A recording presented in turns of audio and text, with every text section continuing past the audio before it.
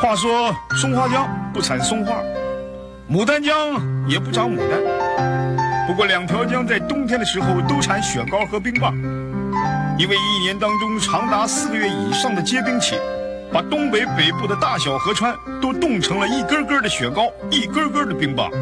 女人们在冰棒的缺口处洗衣裳，天寒地冻之中透露着母性的温暖。在冬天的东北，其实根本不需要桥，不过为了保险起见，大小车辆还是遵守交通规则为妙。尤其是在春冬之交，乱闯江面的结果，要是一个不小心捋上了薄冰，掉进了深渊，再捞上来之后，很可能连人带车都成了冰雕。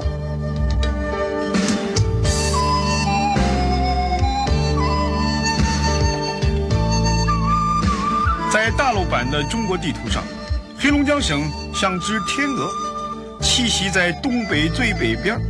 在天鹅的肚子上是哈尔滨，在天鹅两片鹅掌之间呢，这是牡丹江市。这里原本是个人迹罕至的边陲之地。西元一八九六年，沙皇俄国夺取了在中国修筑中东铁路的特权之后，一九零三年，顺着铁路。在这儿建立了一个火车站，因为有牡丹江流过，因此得名而牡丹江市。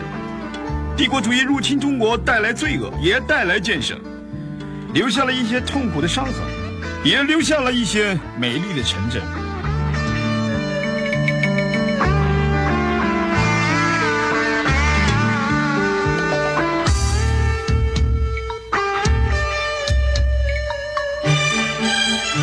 对于中国人来说。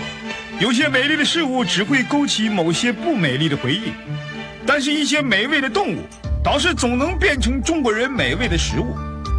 所以，不管是猪脚也罢，猪手也罢，还是扒鸡也好，是烧鸡也好，大江南北不一样的叫法，一样的吃法，不一样的字号，一样的偏好。有些动物永远以它温顺善良的性情和令人垂涎的肌肤，服侍着文明人类最原始的欲望。